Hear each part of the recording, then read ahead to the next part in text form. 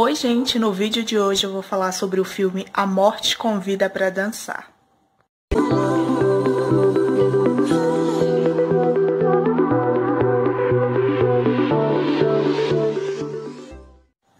Bom, A Morte Convida para Dançar, filme de 2008. Para quem não sabe, ele é um remake do, do filme de mesmo nome, de 1980, que no filme de 1980 ele é protagonizado pela atriz Jamie Lee Curtis, aí conhecida da franquia Halloween.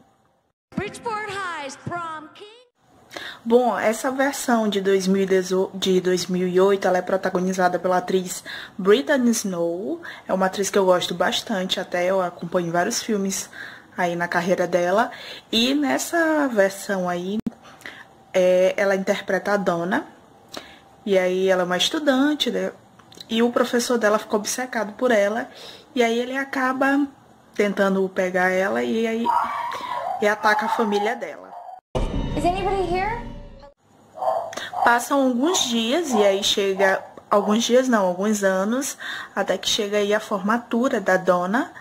E aí nesse nesse baile dela, o professor dela vai atrás dela para tentar pegar ela e aí tem aquele aquela aquelas várias mortes porque ele tem um único objetivo em pegar ela.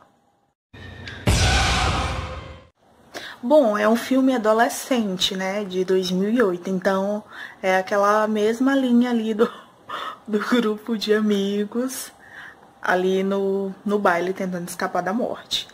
É, eu gosto desse filme, eu já assisti ele várias vezes mesmo. Até porque ele sempre passa muito no SBT aí de noite. Ele só perde o número de exibições para aquele P2 sem saída, que é o que mais passa no SBT.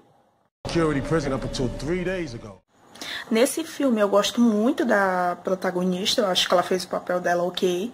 Também gosto muito do vilão, que interpreta o professor obcecado por ela.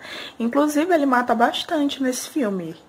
Tem muitas mortes nesse filme, que é o que o público espera. Até gente, teve uma personagem lá que, eu não, que ela morreu, eu também não queria que ela morresse. Muita gente aí morreu nesse filme. Bom, esse filme ele é bem simples, né? O professor lá querendo matar o povo. Eu acho que, como é um remake, se fizessem uma coisa assim, tipo, se uma, o cara ser sobrenatural, tipo um vilão assim, uma coisa sobrenatural, tivesse morrido e ali entrasse, incorporasse um espírito, ia ficar mais interessante a história, no meu ponto de vista, né? Não sei vocês.